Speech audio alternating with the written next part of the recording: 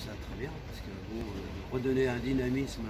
à Donfront, euh, moi c'est il y a longtemps que ça aurait dû être fait, mais bon euh, voilà, c'est toujours compliqué parce que ce qui est important là-dedans, c'est de voir que cette ville de Donfront a quand même un caractère touristique incroyable.